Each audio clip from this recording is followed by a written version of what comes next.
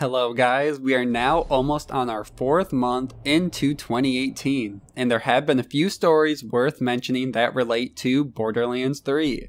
This video will be a follow up from my previous Borderlands 3 Everything We Knew up to 2018 video, so if you haven't watched that yet, I will link it down below in the description, so be sure to check that out and then come back to this one. But this video will cover all the Borderlands stories from January to the end of March, and also all the sources will be down in the description below, so be sure to check out all the full articles if you want more information.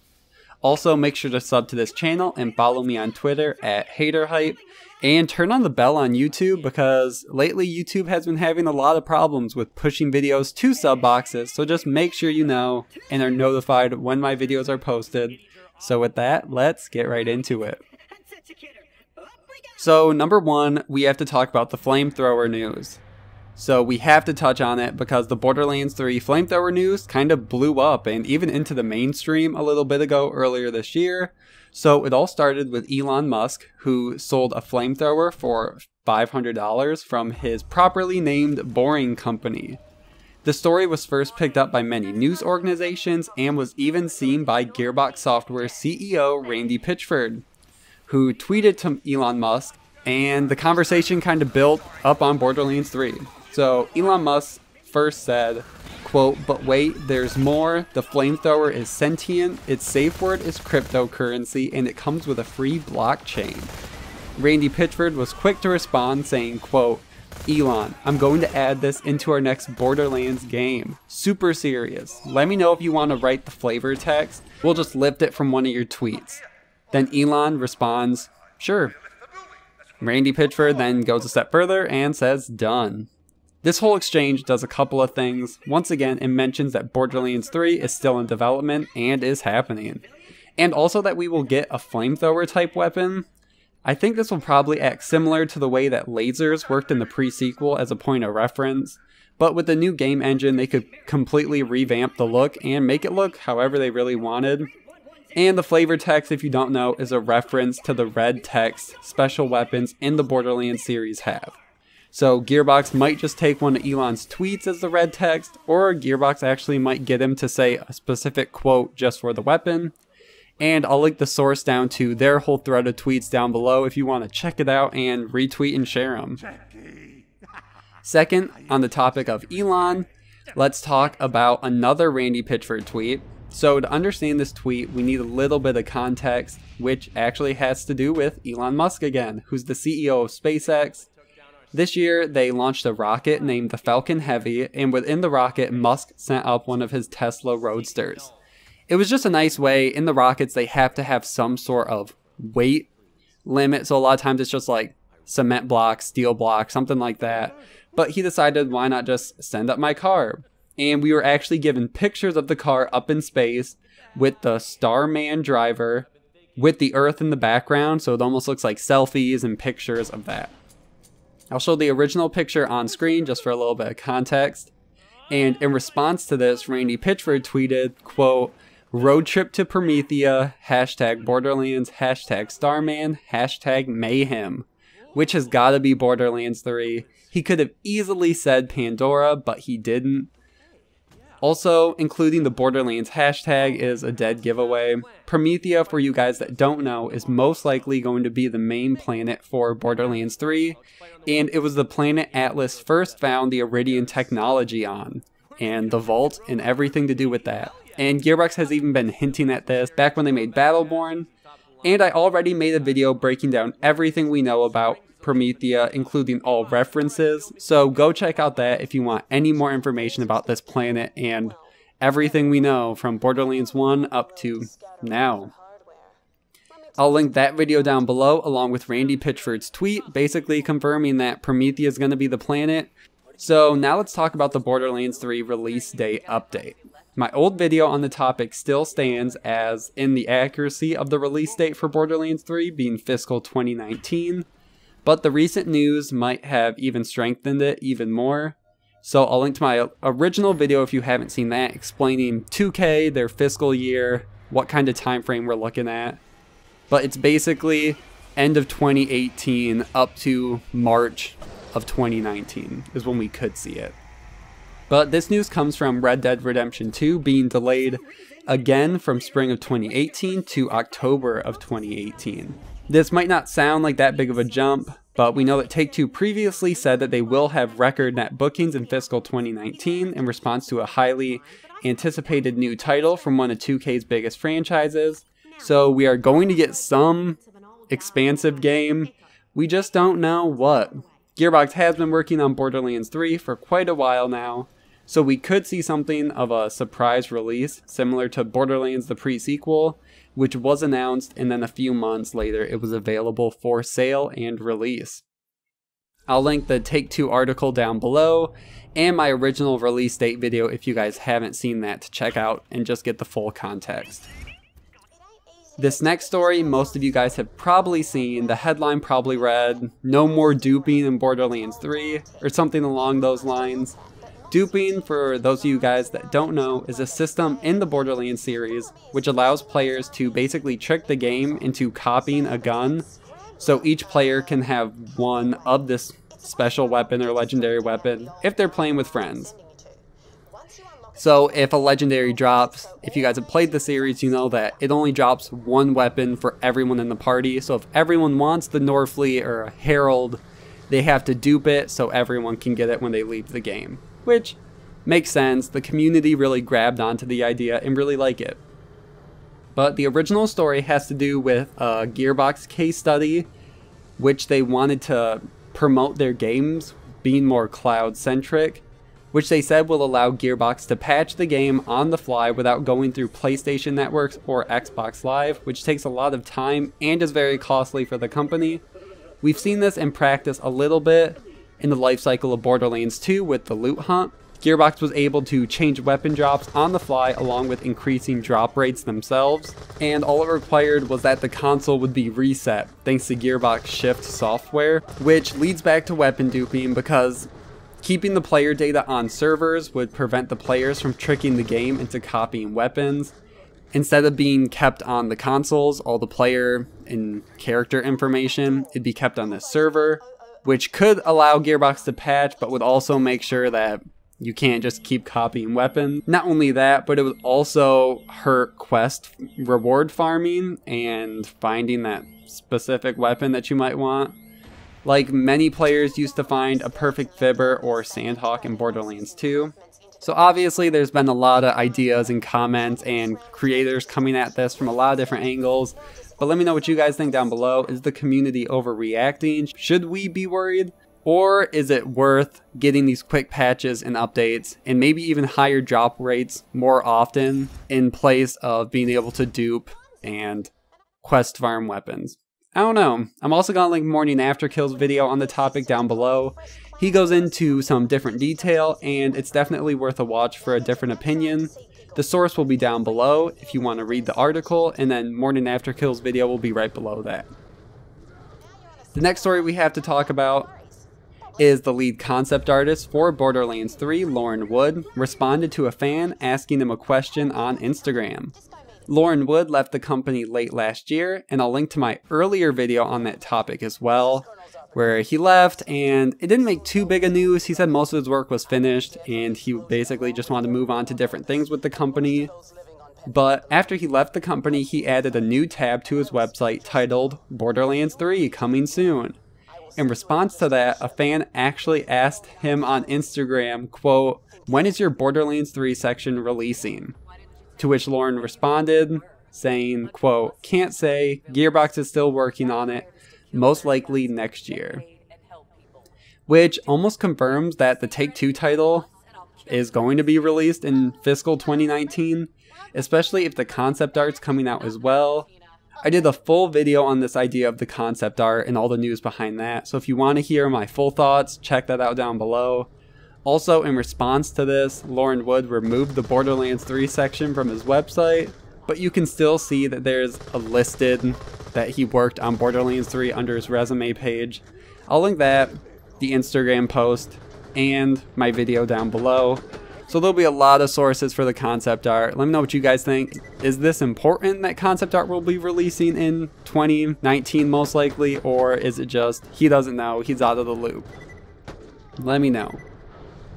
Another story that has blown up at the time of writing this is a website called Skewed and Reviewed sent a tweet to Scott P., who's the director of communications at 2K, which is the company that publishes the Borderlands series. The website asked, quote, how have you been? Have not heard from you in ages. Scott then responded saying, quote, doing well, Gareth. Just busy behind the scenes working on the next Borderlands. How are things with you? The website then responded saying, okay to use that with, of course, name and ID out. And Scott replies, use what? That I'm working on the next game? Sure, but it's not exactly a secret that there's another one coming. Randy confirmed that a while ago, smiley face. And even in Scott's bio, it says currently working on the next Borderlands franchise. Even though the game hasn't been confirmed by the studio yet, it's reassuring to see more and more stories coming out of people hard at work on the game and able to talk about it and freely talking about it, not as restrictive as we've seen in the past. Overall, there's not too much else to say about it other than it makes for a great headline. 2K now confirms Borderlands 3. It's really great, and a lot of the community is kind of feeling it, liking it. So, with the Nintendo Switch becoming a sleeper hit, with a lot of developers porting their games to Nintendo's newest console, one Borderlands fan went and asked Borderlands spokesperson Randy Pitchford, quote, Randy, what's your take on the hashtag Nintendo Switch running at Unreal Engine 4? Randy responds saying, quote, we have Borderlands the pre-sequel on the Nvidia Shield, so why not? The fan goes on to say again, quote, why not, you ask? Because my Switch purchase is contingent on if it will play at Borderlands 3. No pressure. Randy sadly says, quote, I do not see that as happening. We were talking to Nintendo, but that stopped for some reason. They have other priorities. So I know that doesn't sound great for all the Switch owners, but at least Gearbox has had some conversations with Nintendo. Borderlands 3 hasn't even been announced yet, so there is always the possibility that maybe post-launch, if the game is popular enough and Gearbox can dedicate some resources or find a company to port it, that they could see a Switch port conversations with Nintendo, I would say, is good enough at this point. If Nintendo wants the game, they'll ask for it. If not, there's not too much Gearbox can do. They're not going to put resources towards something that doesn't want their game. But it would be awesome to have a portable Borderlands 3. So I'll link the tweet thread and a write up by friend of the channel MentalMars on the topic. So be sure to check those two out. So another story we have to talk about is Borderlands 3 at E3. As mentioned earlier in this video, the common belief is that Borderlands 3 will be coming out sometime in the next year. 2K and Gearbox will most likely have to go public at some point with the game at most likely a big conference to stir up hype. There have been a few options Gearbox could go to. E3, definitely, people have been saying more and more that maybe this is where, we will see it and it is one of the bigger conventions. But I do want to mention that people have been thinking this for years and years. People thought last year would be the E3 we would see it. IGN was one of the biggest proponents of this idea. They even made a video, articles. But if you actually take a deeper look at their articles, they speculated, even in 2017, that they probably wouldn't see anything and that the game would most likely be released at E3 2018 which would be kind of poetic. Borderlands 1 was announced 10 years ago in 2008 at E3, so announcing Borderlands 3 10 years later, 10 year anniversary could be really nice. I know other content creators like MorninAfterKill has a theory that maybe they'll announce it later next year, as in March, which would be the 10 year release of Borderlands 1 and then part, like have some sort of remaster of Borderlands 1 with the release of Borderlands 3 then it would release in the fall. So there's a lot of ideas out there on when people think if it will coincide with release of Borderlands 1, announcement of Borderlands 1, if E3 will be important. Obviously, E3 hasn't always been a favorite for Gearbox. All they've shown at E3 really is early Borderlands 2 footage, early Borderlands 1 footage, and even the pre-cel shaded trailer from Borderlands 1. But there's also Gamescom, PAX is probably one of the biggest. Gearbox is super loyal to PAX, so we could see it at one of their conventions. So if Gearbox does decide to go this route of announcement, there's a lot of options, a lot of places, and it's too hard to tell. Right now, for E3 2018, Gearbox has only announced that their publishing company will be there, which means they'll be probably showing We Happy Few, games like that, Hello Neighbor, not too much of the Borderlands as of yet. I'll link another article from, from MentalMars giving potential conferences and the IGN article from 2017, which includes the guest at Borderlands 3 at E3 2018 at the very end, if you want to check out any of those. Another just smaller story is that a new producer was hired. A new associate producer has been hired by Gearbox, most likely for Borderlands 3, although it's not confirmed. Mario Rodriguez, formerly of Tintertainment, announced that he has become a full-time employee at Gearbox Software Although he has been working at Gearbox before this on an unannounced VR project just as freelance, which does make sense because at Tinkertainment they were responsible for a VR game, but before that he has helped other companies record and edit game trailers, help with art and logos, and so much more. Basically just that whole producer role.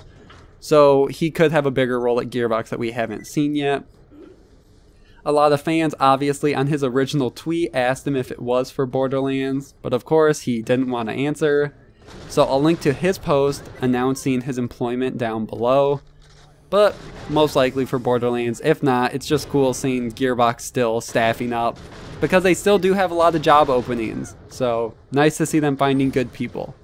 Which actually kind of leads into my next story of playtesting which is Gearbox is asking for playtesters again. This has been going on for a while, but there was another recent push asking for individuals that live in the Dallas Fort Worth area for a paid playtesting internship that the total time for would be 10 days between April 3rd through the 13th and April 16th through the 20th, which was actually retweeted by Mario Rodriguez. So it's weird that he'd be retweeting playtesting for a game that's probably Borderlands, hopefully, fingers crossed. But this actually isn't the first time this year that Gearbox has asked for playtesters. Back in January, they were promoting playtester positions for February, although it was still not confirmed what the game would be. And I think reasonable people could find that it makes the most sense that it would actually be Borderlands. So if you live in that area, feel free to sign up and take advantage of this really cool opportunity. I'll link to the tweet from Gearbox if you want to apply, and a link to a video from Supmatto if you want to hear more thoughts on the playtesting, although his video was on the playtesting back in February, but for the most part the idea is the same if you just want to hear more in-depth topics and talks. So now we have to talk about why the game hasn't been announced. This next story isn't really anything new, but Randy Pitchford once again was explaining why Borderlands 3 hasn't been announced. The source is actually from Nerdvana Live, which is a talk show podcast type thing that he's been doing with different employees of Gearbox and just friends. Uh, we talked about an earlier one with Mikey Neumann, who actually we think might be working on a trailer for Borderlands, but I'll link to that video if you guys want to hear all that. But this is about Randy talking about why the game hasn't been announced. At around the 46 minute mark, he's of course asked a question about Borderlands 3 and why it hasn't been announced. He goes into how fast news works in this digital age, that once something is announced, people want it, and if you wait too long, people will forget and move on. He says that people are working on it and that a lot of other ventures for the Borderlands franchise are in the works and that when they are ready that we will get like a slew of news. He basically said there will be some lead time from announcement to release, but it will be way less than Borderlands 1 or even he said it will be shorter than a year. So hopefully we're thinking maybe a few months from announcement to release, which would be really nice. He also says that the game will be basically done by announcement, which is nice to hear. So hopefully almost perfectly polished by the time they announce it so they can do some playtesting and hopefully start working on the DLC, which I know people don't like to hear before the game is released or even announced, but it's nice to start thinking about that. But overall, if you just want to hear this Nerdvana podcast, which I'd highly recommend, 46 minute mark up through, he talks a lot about Borderlands 3, talks about the Switch, the future of it, a lot of great stuff right in there. So I'll link that down below. Another story we have to talk about is the big Borderlands 3 leak. So something else that's been recent news and that blew up is a Borderlands 3 leak for June 10. This started on Reddit and convinced a lot of people. Unfortunately, this was shortly proven to be fake. The alleged Vault Hunter shown on the side of the picture is a doctored character from a Dark Souls 2 trailer. There was also a trailer that went along with this screenshot. It says confidential property, do not distribute. The trailer itself shows a few different planets. Probably they were trying to show off that we aren't on Pandora anymore and that we'll be exploring the galaxy. And then this leaker allegedly gave some information. He said that it'd be the darkest game in the saga, same style of graphics as the previous game. In the image is the antagonist of the game. The first seconds of the reveal trailer of June 10. In this game, we'll visit other planets. It will be on PC, PS4, Xbox One, and Switch. Reveal will be June 10. Release date September 2018. It will be single player, co op, multiplayer, and survival. There'll be a season pass with three expansions without an announced date. The main story will be 25 to 30 hours. Co-op and multiplayer is the same. Survival mode will be waves and waves of enemies, like No Man's Sky, The Forest, and Subnautica. That the game will begin linear, but eventually we obtain a ship and travel to different planets in an open world.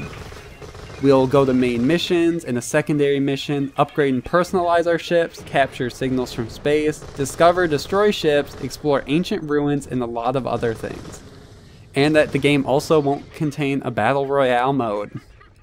But as I've said before, a lot of this, the reason it sounds so great and believable is because it's a lot of things people already expect. We expect the same graphics. We saw the Unreal Engine trailer at the last E3. We expect a September release date because that's what Gearbox has always done. We expect co op, we expect multiplayer, we expect a season pass. So a lot of this stuff is just what the people want and then just some fan fiction. We want to explore space, so of course they're going to throw something in there about that.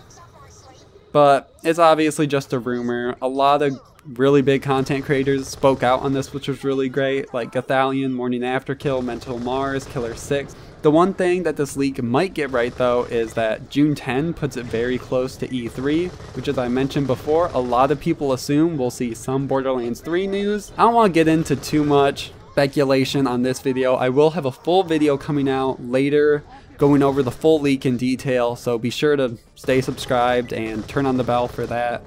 I will mention that MentalMars made a very helpful picture which shows how the Dark Souls character fits into the character used for this fake leak, and it should help clear up any more confusion. So keep an eye out for my future thoughts and this video about the leak coming more explained. And the last story, which really isn't even a story, is just Twitter recapping characters. So the Borderlands Twitter is trying to be more active and has actually started a new series where they provide these character recaps for what I think are new players of the series. But the thing is that these videos have spoilers for the entire series, which might seem strange for thinking then who are these videos for if they spoil Borderlands 1, 2, and the pre-sequel. I like to think that they're going to keep making these up until the announcement of Borderlands 3, so players old and new can watch this, be caught up and ready for the next game, and remember where the characters came from. And it's also just a fun way to catch up and remember what happened for a lot of these games that you might have not played for months or even years. So far, only Tina and Roland are out, so I'll link both of these down below if you guys want to check these out. They're fun, like and share them. Okay, so that's all the stories I had to cover. Obviously, there was a lot in there. Not my full thoughts on everything. Some of these stories I'll be turning into smaller videos, going more in depth on my thoughts, what the news is. So once again, thank you guys so much for watching. Like, comment, subscribe. Tell me all your thoughts. Follow me on Twitter at HayderHype. And see you guys in the next one.